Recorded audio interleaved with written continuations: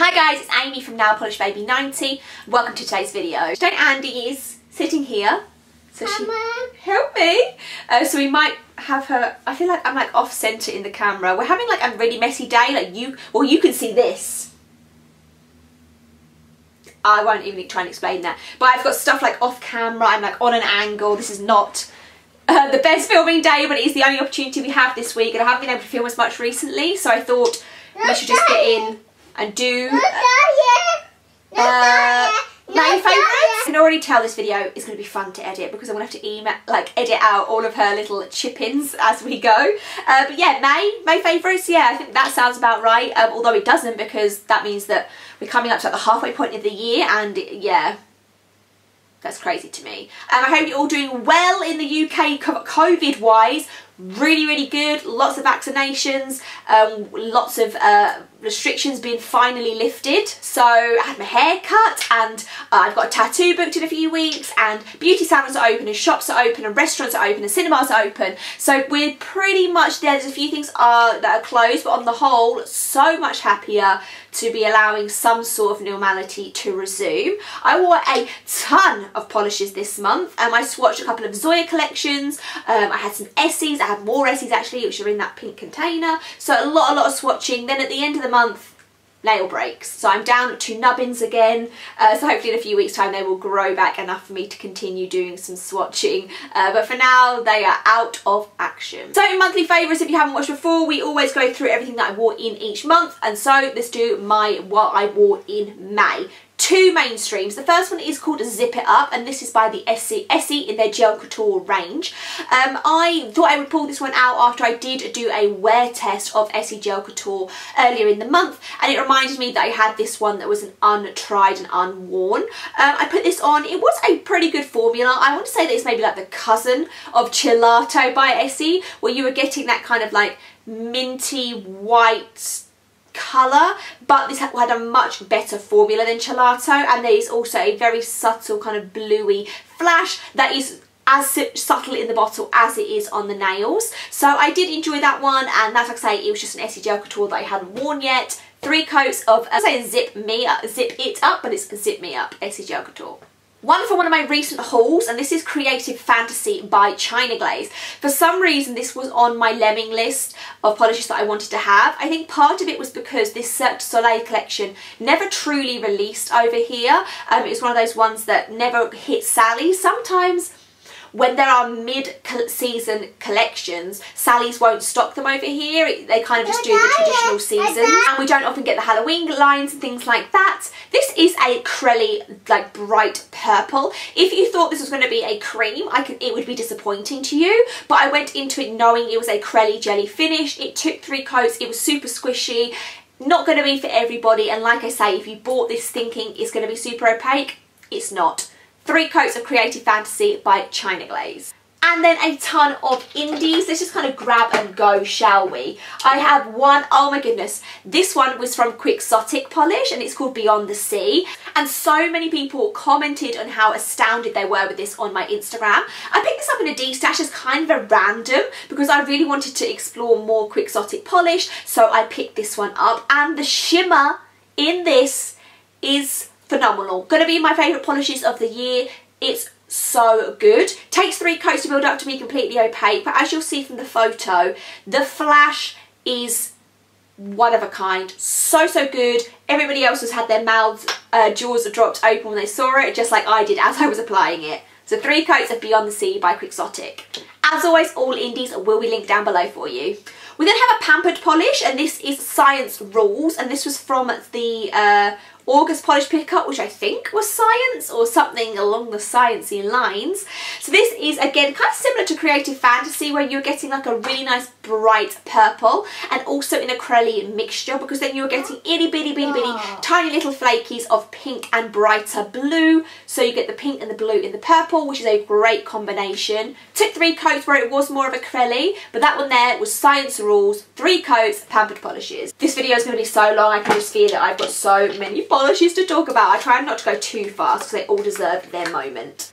a Stella Chroma for you and this is Alohomora. This was from the Cast a Spell box from last year. It was the last one that I had to wear and it's because it's a yellow gold and if you're not if you're not if you're new here you won't know but I don't really like yellow golds too much. They're not my favourite. I kind of like rustic antique golds but these kind of bright yellow ones are just not for me. Uh, as always it did have a beautiful formula. It was completely opaque in two coats but it's just not my colour overall. Love you Stella Chroma, just not a yellow gold. That was two coats of Alohomora Stella Chroma. I'm getting a numb foot, I'm getting a numb bum. One from KB Shimmer and this is called How's It Growing um, and this is a nice grassy green base with a ton of duochrome flakies in it. And then the duochrome flakies that kind of go from orange to blue, so the kind of middle of the spectrum.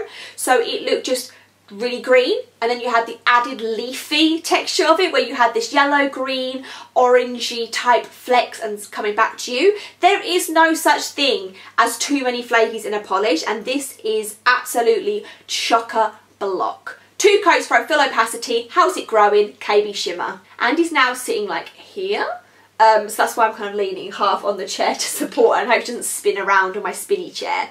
We have two from Dollish Polish. The first one is called He Who Walks Behind the Rows.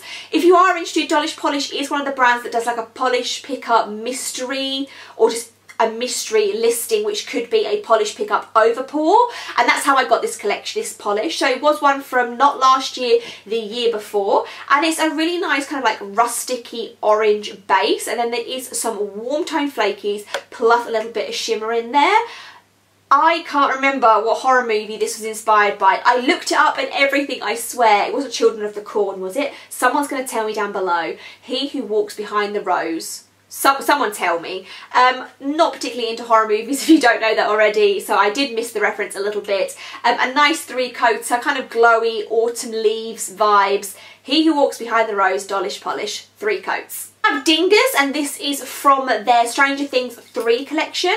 I was going to pick the whole collection up because I do have all of number 1 and number 2 but I bought this in like, was it Black Friday or some sort of sale. And anyway by the time I got there the full collection was sold out. So I just grabbed a few. And Dingus is a you may know if you're new again if you're new here hi I'm Amy and I like blue and bronze together. So this is a blue base and then there is red to orange flakies in there and a little bit of a reddy shimmer again. So I love blue and red, blue and bronze, blue and orange. They are one of my favourite combinations of life. So obviously I could not resist this. Three coats of Dingus by Dollish Polish. Stay with me, we've still got quite a few left to go. I'm trying to go as fast as I can two rogue lacquers. The first one was uh, From the Ashes We Rise, which was December 2020 polish pickup. Um, this was not what I expected. From the polish, you think it's going to be a really dark blue base with then the kind of, again, kind of what I've just described, the warm orangey red flakies. However, the base is either completely clear or very, very close to clear. And the blue that you're seeing is actually blue flakes with them. So it's not a blue base blue base with the flakes. The flakes are also blue. So it was a really fun combination, but it just wasn't what I was expecting to start with. Therefore, you had to do three coats to build it up. It does cover completely. It's really, really shiny and blingy. And like I say, the, co the coverage of the flakies is really, really nice. Just wasn't what I was expecting. So sometimes you're a bit put out, you're like, oh, this is going to be a sheer harder application. But it was totally worth it and it looked great three coats of From the Ashes I Rise, From the Ashes We Rise from Rogue Lacquer. The other Rogue was one from their um, Hella Handmade Creations collection, which is based off of London.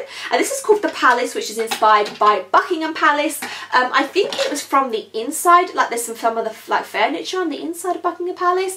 I kind of just picked this up, one, because I like Rogue, and two, because I am trying to collect a lot of the London series. So it is a royal, rich red colour and then we have a ton of golden flakies in there.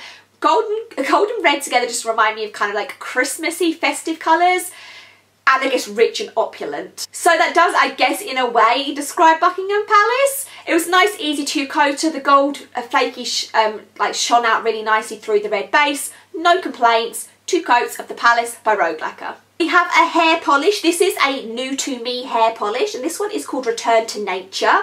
This is a kind of it kind of looks like sand. So it's like a putty sand base and then there is gold and silver glitters in there. And that's what I did quite like about this. Is this my favourite Hare Polish I own? No.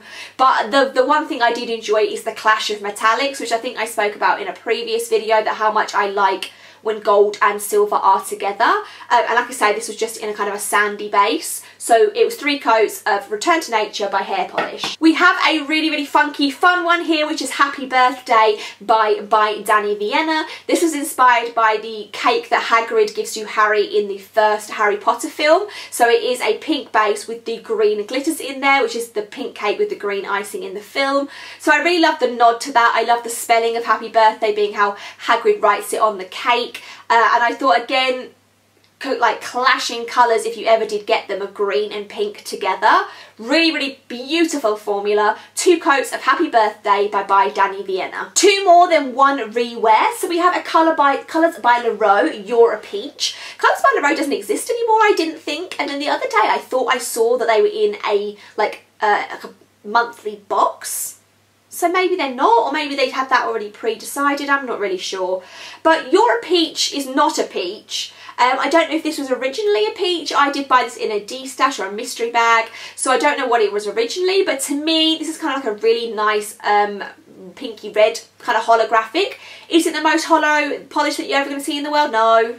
Um, but it, it, was a really pretty one. I do like having a few colours by Llarowe just because they were such an iconic brand and they don't seem to exist very much anymore. Uh, so that one there was two coats of You're Peach by Colours by Llarowe. The last new one of the month was Lucky Charm by Fair Maiden. This is really, really beautiful polish. A lot of people tagged me and commented that they'd also picked this one up in Polish Pickup. So it is your mint green base and then there is a strong golden flash to it. Um, I, I love that combination together and it just screamed Lucky Charm Irish. It, it ticked all the boxes for me. Um, I also really, someone said, I think I said this in the whole video that I got it, someone said that they didn't like the brush on the Fair Maidens, but this is like a really nice wide paddle brush, which is exactly what I like to use. So not sure if maybe they had some bottles with certain brushes where they'd run out or something, um, I don't really know. Um, three coats of Fair Maiden um, Lucky Charm. You made it to the end, hold on for 30 more seconds. One rewear, which is the one that I'm wearing today.